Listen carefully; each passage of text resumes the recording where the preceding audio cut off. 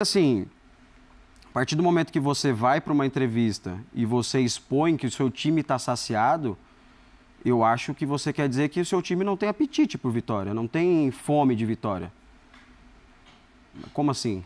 Você não tem fome de vitória? A minha vida se resume a vencer. Né? Eu saio de casa todo dia para treinar, para tentar melhorar, para tentar evoluir, porque eu quero vencer. Minha vida inteira foi essa competição. Uhum. Né? E assim como todos os meus companheiros lá, a gente se cobra, a gente se olha e fala, e aí, vamos, vamos, não vamos? Né? Então, a partir do momento que você expõe, ah, porque os atletas que voltaram de lesão. Ué, mas calma aí, num jogo passado tinha atletas que voltaram de lesão também e jogaram.